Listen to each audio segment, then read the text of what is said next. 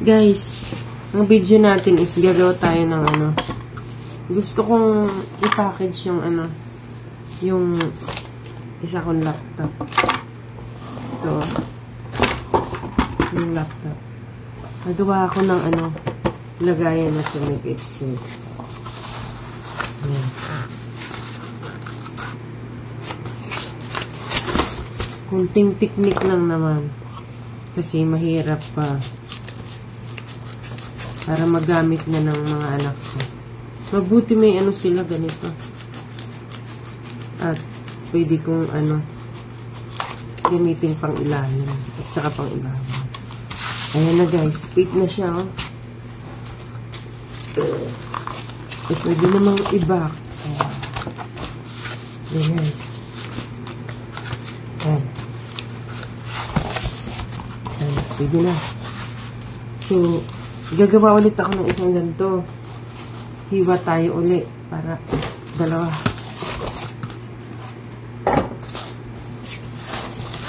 Mahirap kasi ngayon. Mahirap yung ano. Dapat gawa na lang tayo ng paraan. Kung hindi man natin kayang mag ano. Safe pa rin po. Safe ko kasi ako yung nagtrabaho. Mabuti meron ng amo ko nito. At nakakaano ako. Safe ito. Safe ang aking ano, laptop. Papaking ko siya.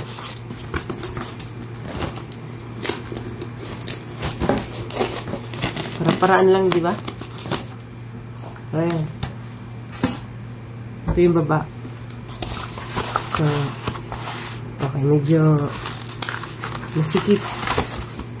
Kailangan, anuhin pa. Masikip siya. Guys, para-paraan na lang para hindi madamage yung ano mo. Yung gamit mo. Ganito yung naisip ko. Ayan. Okay na yan, okay na yan. Tapos, ang gagawin ko guys, lagay ko yung tulagay ng laptop. Ito po yung laptop. Ayan. So, pasok ka lang muna. Nire-ready ko lang to kasi para pag uh, pag pag umalis na, okay na, ready na. So, ayan guys. Okay siya, di ba? Tapos, uh, ilagay ko to dito sa gilid. Ayan.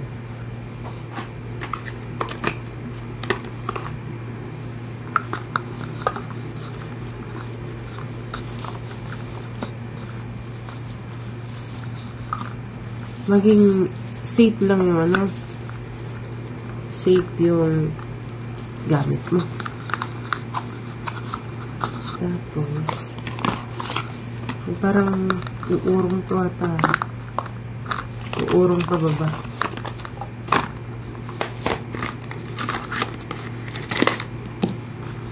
pwede mo naman ipasok pa rin sa loob. Ayan Yan. Tsaka ito naman. Yung maganda dito.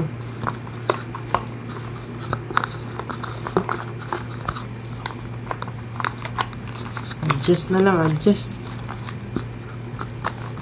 To make it safe. Diba? Tapos, ito sa taas. Ano kayong ito dito sa baba.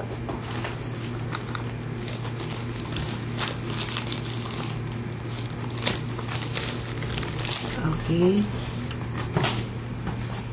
Ngayon, lagyan ko to dito para safe. Make sure lang na ano, ang ano dito, yung point ko dito is Hindi malamog ang laptop. Ayan. Pero hindi kakasya. Ayan. Mataas yung ano.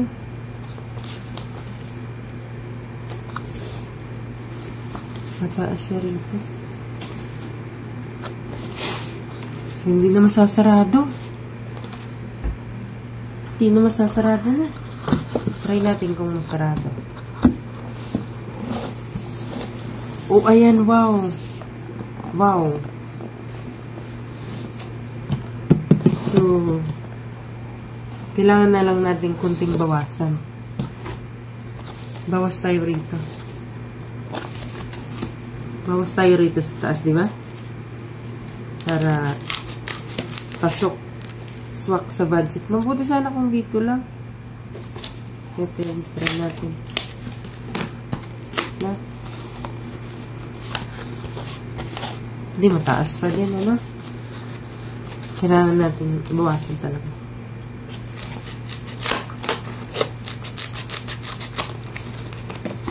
Okay. Ayan. Ayan na siya. Pwede na ba?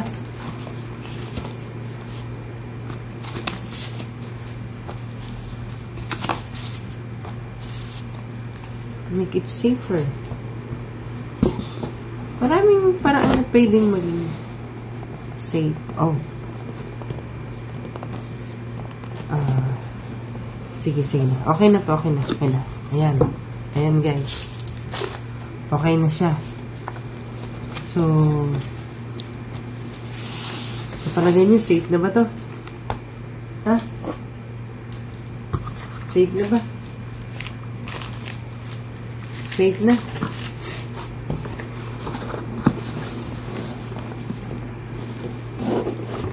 Hmm. Safe na ba siya?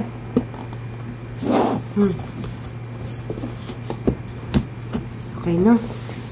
Kasi, para-paraan na lang. Tapos, pag inilagay naman sa box, nakalagay siya dito. Yan.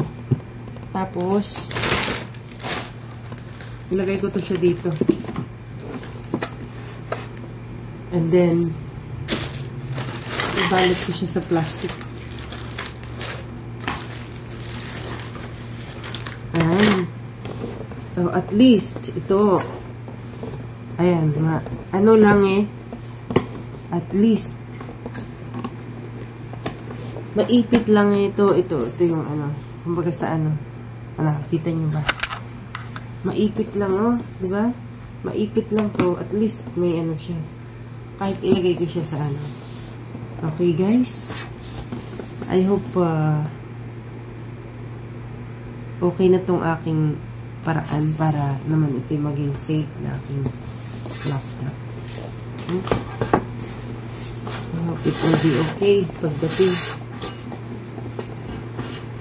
Pero natutuwa ko ah. Siguro okay na to no. Hmm? Okay to. Kasi home naman to. Yan. Gusto ko lang kasing ipadala sa Pilipinas. Ganito ko siya nipinak. Hmm. At saka, ito naman eh, safer pa tong ano ko, lalagyan. Kahit malaganan pa to. At least, makikita mong safe, di ba? Okay, yan. Pwede na siya. Hmm. Okay, ayan. Ayan. Hmm. Tingnan nyo guys. Oh. Nasarado siya. Pwede na siyang isarado, oh. Sarado, sarado, oh. Lock siya, nakalock. Oh, pwede nang ilock. Safest ba yun? Hmm? Laptop. Alam ko mahirap magpadala ng ganito. Kasi makikita ko dun sa ano. Pero, need kong ayusin. Pero, tingin ko maayos naman. Safest na. Iba talaga pag tayo yung naglalagay. Kasi, alam natin kung paano. Mahirap kasi kung iba yung maglalagay eh. Eh, ito, sigurado na ako na safe yung ano, gamit ko sa loob. Safe na yun lang. Kahit ganyan ako na lang yun. Para hindi maalog-alog. Hmm. Okay. Alam nyo guys, mahirap talaga yun. Mahirap talaga magpadala ng uh, bara-bara. Pero, lock naman siya, oh. Oh, nalalak na siya. Oh.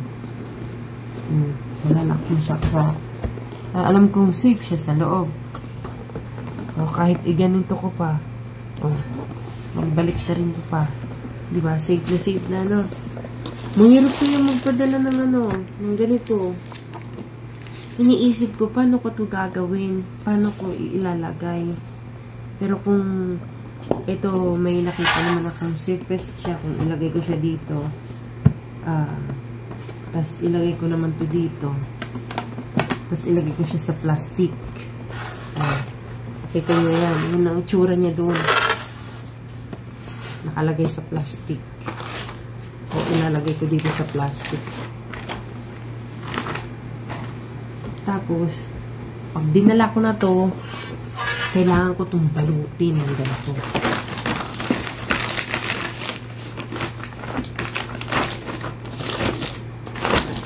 Ganyan. Para hindi ako masita kung ano to. Kasi bawal talaga itong itira ng ganito. Tapos, ilagay ko na siya dito. Sipes na, di ba? Mahirap mag, ano, ng gamit sa panahon ngayon. Ayan siya, oh.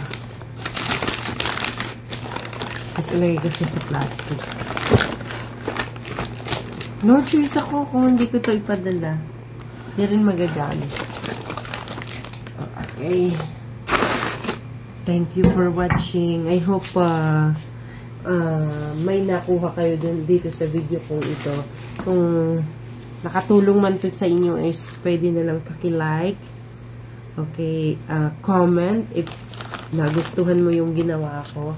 At least may ganito rito available sa aking amo. Ito siya.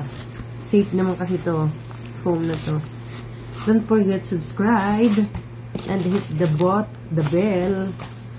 Hit the bottom bell so that you will uh, updated sa aking mga susunod pang video. And thank you for watching. I hope nakatulong sa inyo nakagawa kayo ng way para maging safe yung mga gamit nyo na ipapadala sa Pilipinas thank you for watching. Bye bye